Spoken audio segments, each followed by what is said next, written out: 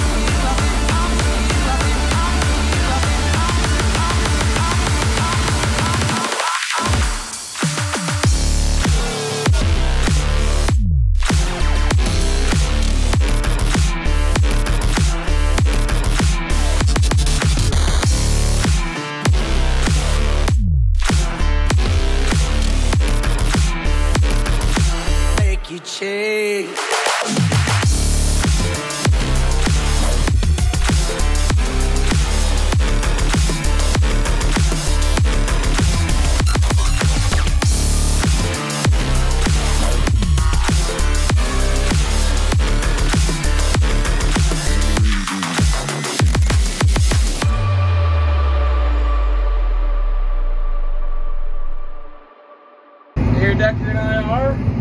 Do you ever feel like somebody's watching you? I backed her down a gear so we'd be about the same speed, but I can't quite pull 11th gear going up the hill.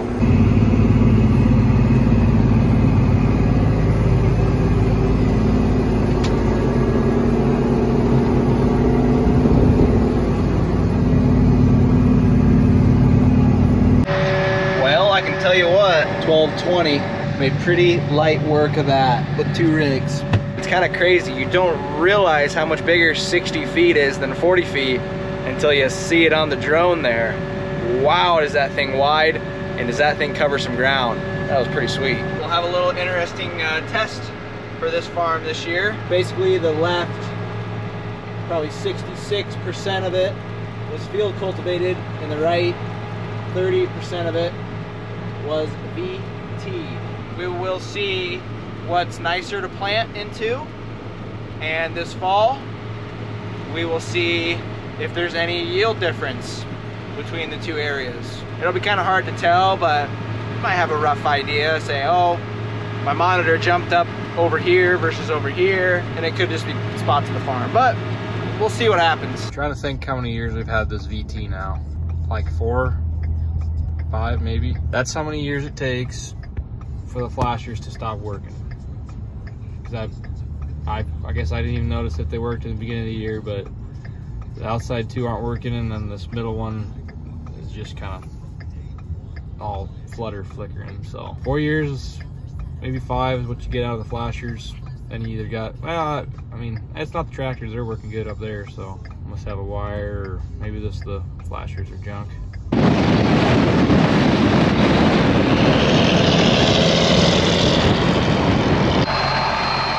Went over to check on Dijon mustard. Plant some seed corn. Looks like they're cleaning the windows. Looks like we got a eyes in the sky. You can tell he's got the rows jacked up. He's only planting the four females right now. You look, we got a gap here.